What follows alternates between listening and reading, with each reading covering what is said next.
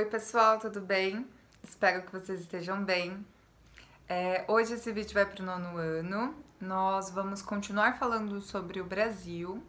A gente vai entrar agora na era Vargas. Vamos falar um pouquinho do governo Vargas. Bom, eu acho que vocês lembram que o Vargas ele toma o poder do Júlio Prestes, né? Ele vai lá e, e impede a posse do Júlio Prestes. Ele vai do, sai do Rio Grande do Sul e vai até o Rio de Janeiro de trem.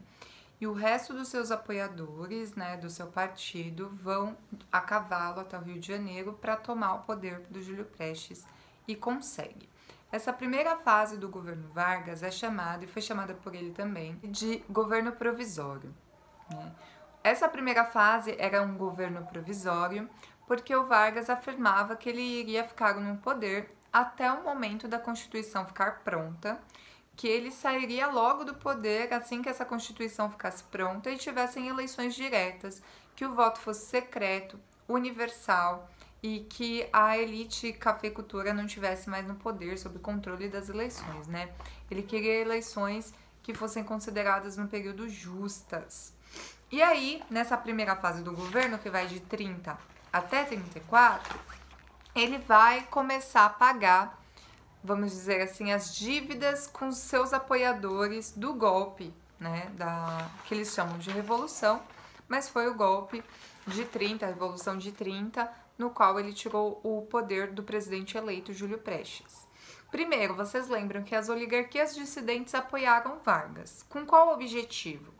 Eles queriam participar do governo, eles queriam que houvessem mudanças políticas profundas, eles queriam também que é, a elite cafeicultura não se envolvesse mais na política da forma como eles estavam envolvidos até o momento.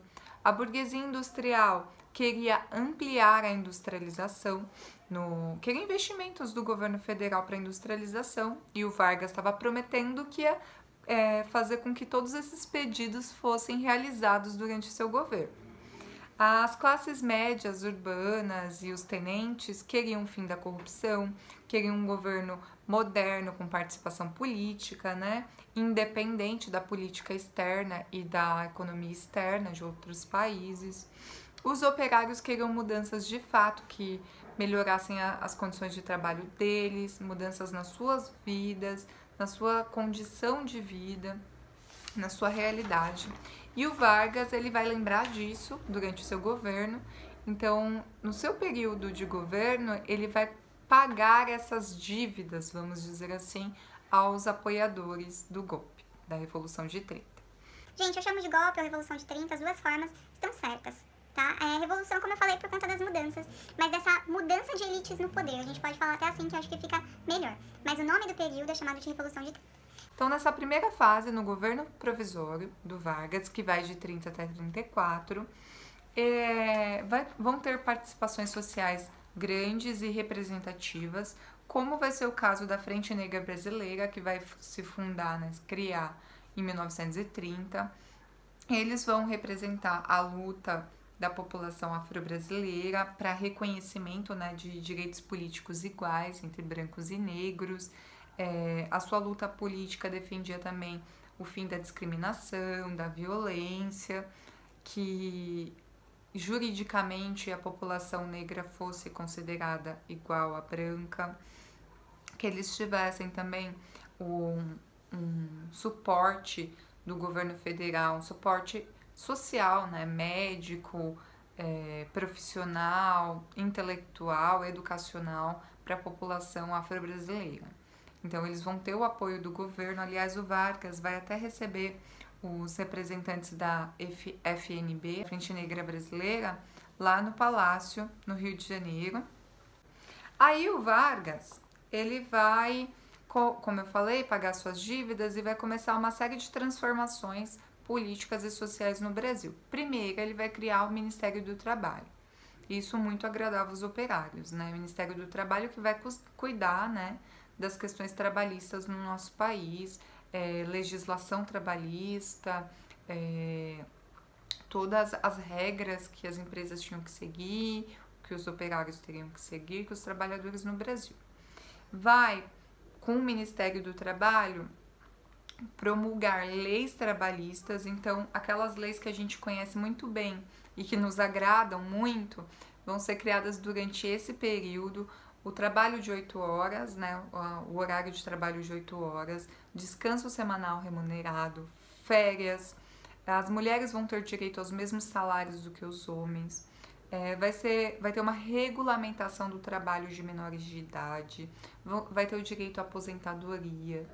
Todos esses direitos, todas essas garantias de proteção ao trabalhador vão ser criadas durante essa primeira fase do governo Vargas, né, durante o governo provisório.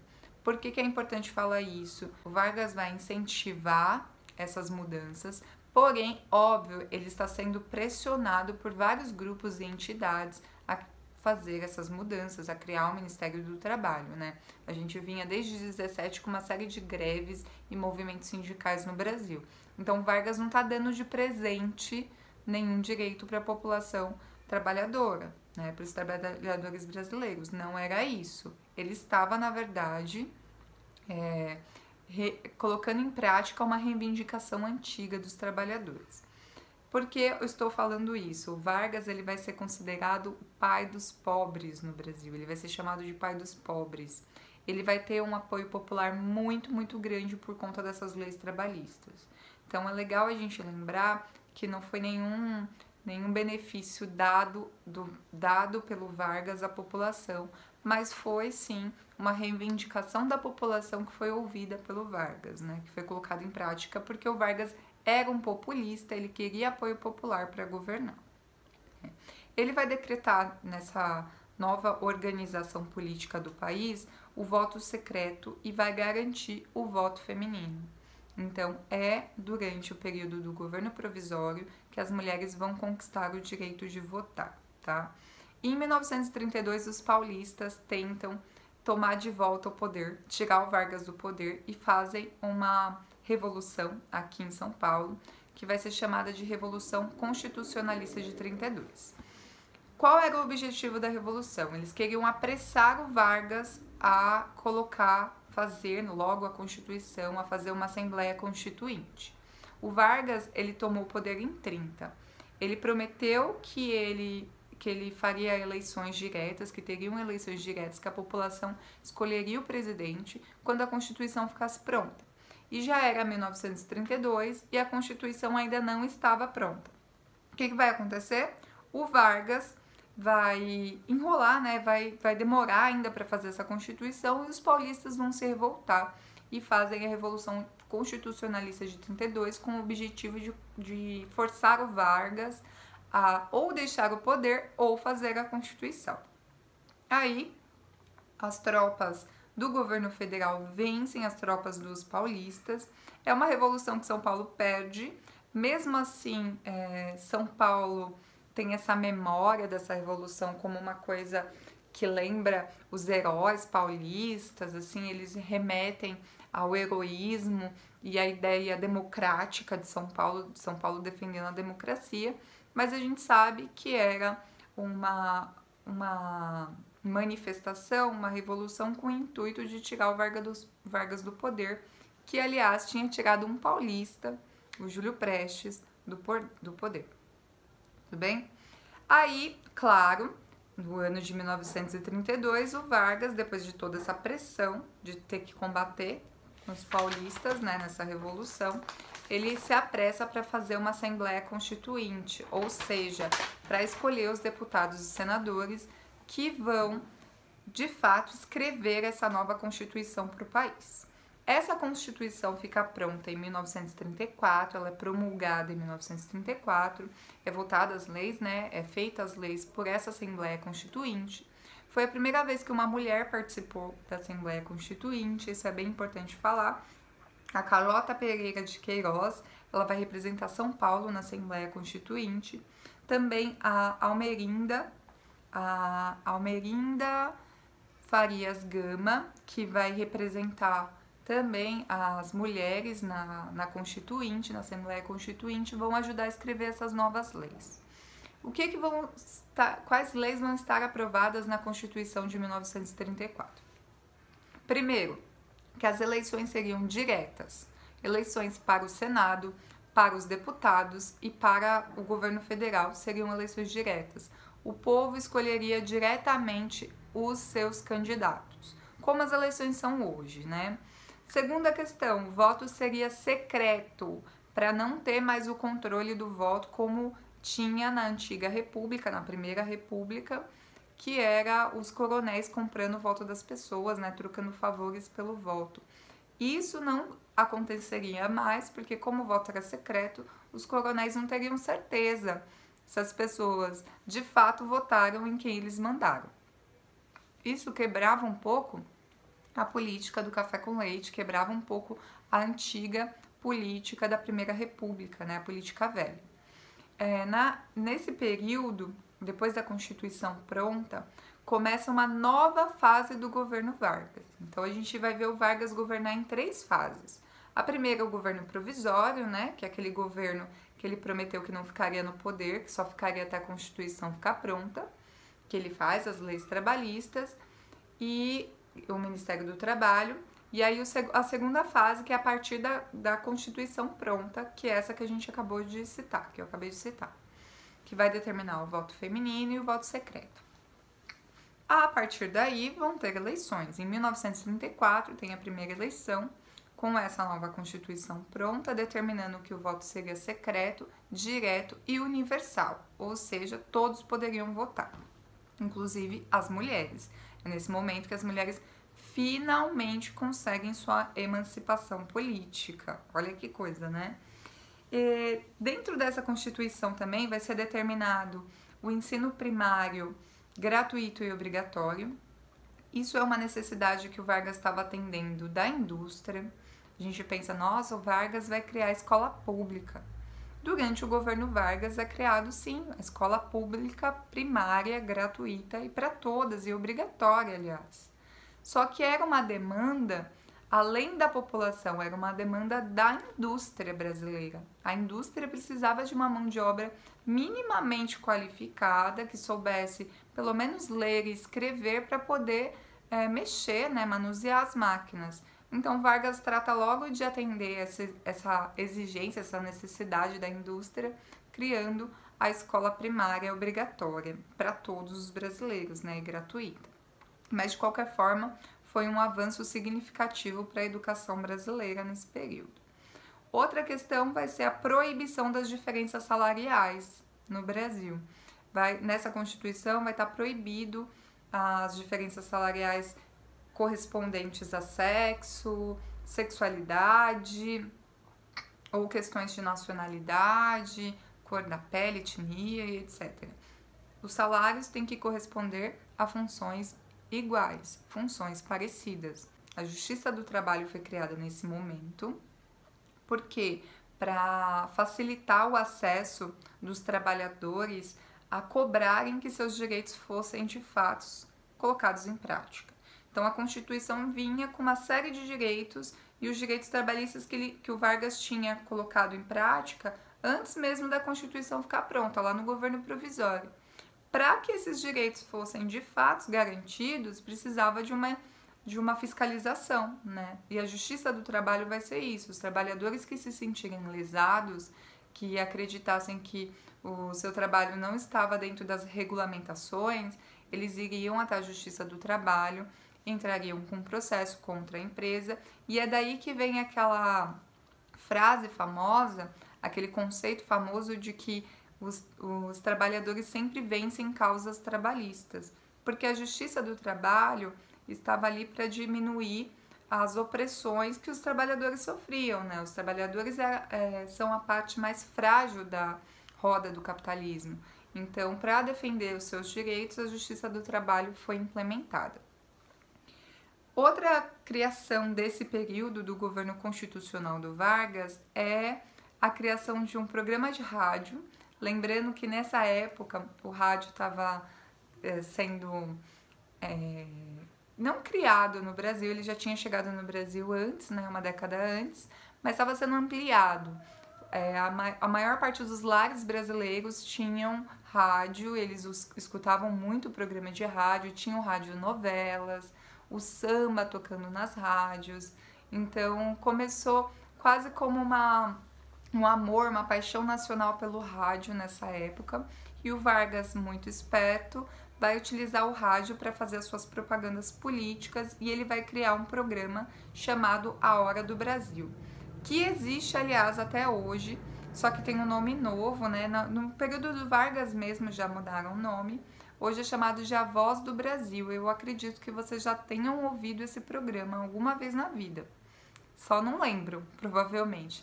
E ele é obrigatório, né? Ele fala todo, todos os dias passa a Voz do Brasil falando sobre os planos do governo federal, o que aconteceu no dia, o que tem de notícias sobre o governo.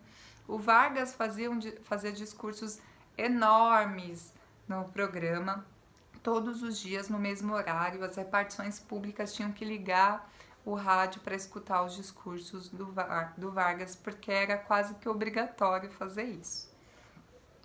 Tem no final desse ano, né, o ano de 1934, vai ter as eleições. As eleições vão ser indiretas. A Constituição garantia que as eleições fossem diretas, mas que não a primeira, que a partir da segunda eleição todas fossem diretas. Mas, como era a primeira eleição com a Constituição pronta, as eleições foram indiretas e quem votou foram os, os deputados e senadores. E qual foi o presidente eleito pelos deputados e senadores no ano de 1934? Tandanandã Vargas, Getúlio Vargas. Ele foi eleito indiretamente e continuou sendo o presidente. Então ele já estava ali de 1930 aí até 1934. Em 34 tem uma nova eleição e ele governaria até 1938. Ele ficou de 30 e ia ficar até 38. Durante esse governo, esse governo constitucional que vai de 30 e deveria ir até 38, mas vai até 37, então de 1934 até 1937 é o governo constitucional. O Vargas vai estabelecer né, todas essas regras. No final do seu governo, em 37, o Vargas dá um golpe de Estado no próprio governo, no, na própria Constituição, na própria estrutura que ele tinha acabado de criar. O Vargas vai criar um plano, vai bolar um plano chamado Plano Cohen, e ele vai dizer que interceptou uma ameaça comunista no Brasil. Que os comunistas iriam tomar o poder, que tinha um grupo comunista no Brasil que iriam tomar o poder, que ele descobriu esse plano, que era chamado Plano Cohen, e que ele precisava do apoio dos brasileiros para poder é, manter o seu, o seu governo, para manter os brasileiros na direção oposta ao comunismo, para proteger o Brasil dos comunistas. E aí a população meio que com medo, né? Eles tinham muito medo do comunismo, também a elite com muito medo do comunismo aceitam que o Vargas dê o golpe de Estado, né? Um golpe civil, vamos dizer assim, porque ele vai ter apoio da população e vai meio. Ele vai cancelar a Constituição que tinha acabado de ficar pronta, vai refazer a Constituição. Essa nova Constituição não vai ser uma Constituição democrática, vai ser uma Constituição ditatorial que vai limitar os poderes da, do, do legislativo Praticamente ele vai fechar a Câmara dos Deputados e o Senado e vai passar a governar sozinho como um ditador. Então, o Vargas, o governo dele acabaria em 1938, mas como ele não queria deixar o poder, um ano antes de acabar o seu mandato como presidente, ele dá o golpe de Estado e em 1937 passa para a terceira fase do governo Vargas, que é chamado de Estado Novo. O Estado Novo é o governo ditatorial do Vargas, que vai de 1937 até 1945. O Vargas fica sendo um ditador durante todo esse período. Então, ele suspendeu a Constituição promulgada, faz uma Constituição nova, outorgada, uma Constituição imposta, passa a perseguir todos os opositores. Lembrando que o Vargas nesse momento vai fazer uma, um programa de perseguição sistemática aos comunistas no Brasil, né? Tanto que é nesse momento que aquele aquele carinha que a gente estudou no módulo anterior, o Luiz Carlos Prestes, vai preso, né? Ele que era o líder do Partido Comunista, fez líder não, ele fez parte do Partido Comunista. Ele vai preso, o Vargas prende o Luiz Carlos Prestes nesse período, durante o governo do Estado Novo, e passa a perseguir né, todos os opositores. Ele vai criar nesse período o DIP, o Departamento de Imprensa e Propaganda no Brasil, para fazer propaganda do seu governo, para poder mostrar para a população que ele era o líder certo, que ele era o pai dos pobres, ele vai fazer propaganda de como ele protegeria a nação, ele vai meio que incentivar um nacionalismo exacerbado na população brasileira. Então, o DIP vai criar cartilhas nas escolas para ensinar as crianças de como Vargas era o trabalhador máximo do Brasil, ele que regeria a nação, ele levaria a nação à glória. Vai ter propaganda do Vargas na na TV não, que não tinha TV, na rádio, vai ter propaganda do Vargas nas ruas, com cartazes com a foto dele, em todos os lugares. Todos os dias é para fazer a cantar o hino nacional nas escolas, nas repartições públicas. Ele vai utilizar o rádio dentro do departamento de propaganda também para fazer os seus discursos. O Vargas vai ser um ditador bem no estilo fascista, né, que a gente estudou agora. Um cara com apoio popular e que vai meio que levar a população a esse sentimento nacional, de nacionalismo. Mas depois que a guerra começa, né, a guerra começa em 1939, o Vargas ele não, não determina que o Brasil vai entrar na guerra, mas claro, ele flertava com as ideias fascistas, ele flertava com apoio ao Mussolini e ao Hitler. Porém, é, os navios alemães derrubaram, né, algum, os submarinos alemães derrubaram navios mercantes brasileiros, assim como na Primeira Guerra Mundial, os alemães decidiram que iam interceptar então, os navios comerciais do Brasil que iriam para a Europa. E com isso, Vargas teve que se posicionar na guerra. Como ele foi atacado pelos alemães, o Brasil foi atacado pelos alemães, ele se posiciona dos aliados, né? E a partir daí, o Vargas corta relações com o eixo, corta relações com o fascismo e passa a ser um líder nacionalista no Brasil, mas que era antifascista. Vai saber, né?